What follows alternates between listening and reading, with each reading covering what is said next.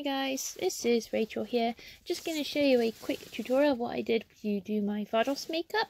Uh, so as you can see, I've put my contacts in already and my head cap just to make things easier mark a template. And yeah, just going to add some moisturizer. It's always best to moisturize and uh, cleanse your skin or cleanse your skin then moisturize before doing makeup so I'm just going to stipple the makeup brush in some water and just make it uh, very very lightly damp you don't want it too too wet otherwise the makeup will come in a huge splodge. So I have a downward brush and the one I have currently is a stipple brush. So I always use the stipple brush first. Sorry just tapping all the water out. And I dropped the brush a few times sorry. And basically the stipple brush gets the makeup better in your pores and gives you better coverage. And these are my um, eyebrow makeup and eyelid makeup and also all my so my lip glosses, my lipstick, and various other things. So I'm just making sure everything prepped, especially for my eyes as well, because I like to give enough impact. And I use Snaz for my face. I just use a standard, it's like sky blue just for undertone, and a normal aqua blue for just the normal face. So I'm just going to stipple on some sky blue just to give some colour to my cheeks, to give a little bit more texture and tone to my skin, rather than just being plain blue.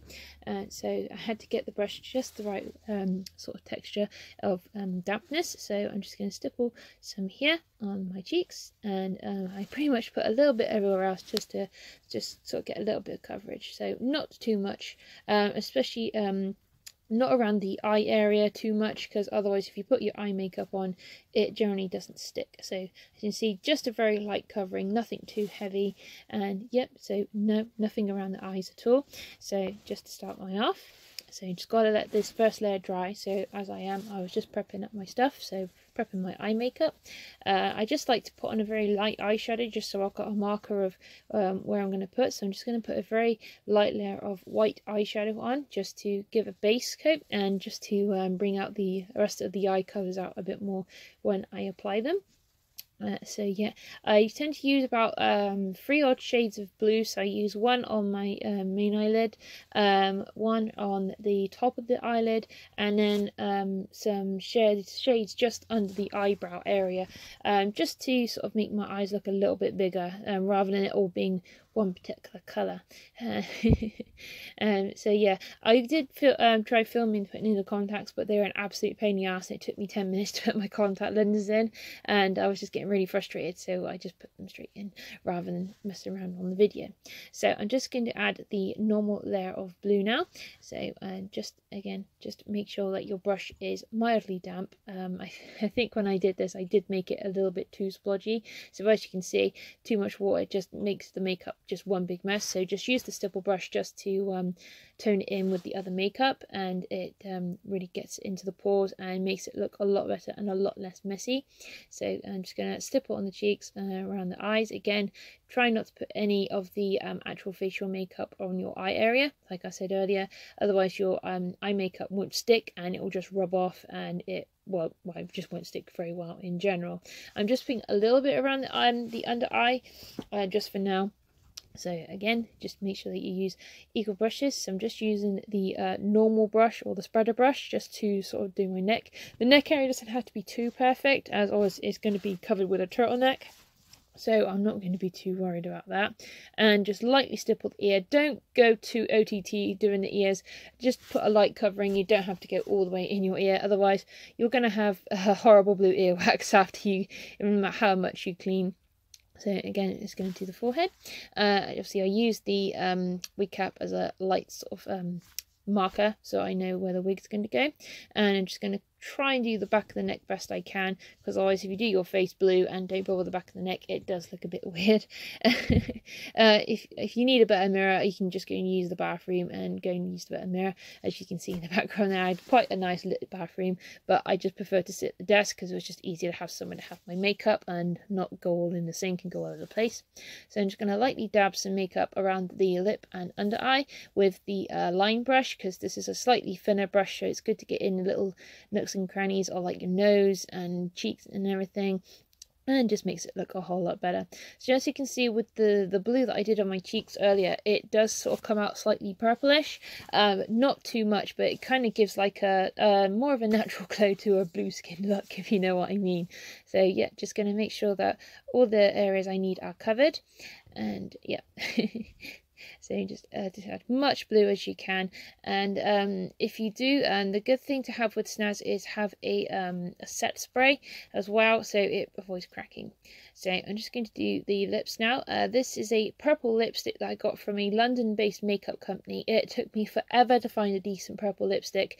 Uh, it cost me about £20, but it's worth it. It does stick quite well, and um, it works quite well with glosses and other things, so uh, always good to have. And I always take it with me to cons in case it does rub off, because obviously if you eat and drink, it does um, it can come off. So I'm just going to um, just slightly um, mark the lip area. I don't want anything too OTT. So um, it's quite easy to blend in with the blue makeup as well. So it's easy just to use your fingers just to um, dab it in. Or as I do, use the line brush.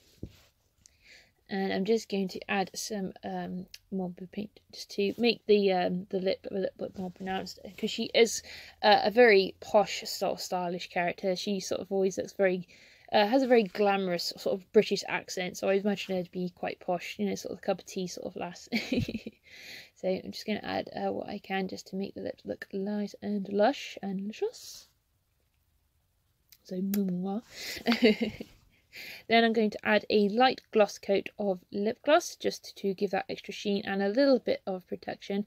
So I generally just use this one just for Vados because obviously the lipstick does stain the brush. But if you've got a spare brush then hey ho, buy one. It's always good. So next I'm going to work on the eyes. So I'm just going to use a light sky blue and dab it under the eye because it has a slight glittery effect but nothing too OTT, oh well I should say more metallic and just put it around the top of the eyelid just to um, so give it a nice little bit of a blend in the gloss. So dusty, dusty, dust. And again under the eye area as well just to give your eyes a little bit more um, volume and they can look a bit bigger. Uh, this makeup palette I got in Wilkinson's. It has a nice shade of blues. It's the uh, mermaid palette of fantasy makeup and I use this pretty much all the time. It's just such a nice range of different colors. They have about three other palettes uh, one's like nude colors and one's like pastel pinks but blue's generally my favorite and I picked it up just for Vados so just a nice glitzy blue so they have about three different blues in this. They have like a navy, uh, aqua, and like a nice sort of teal and bluey sort of colour.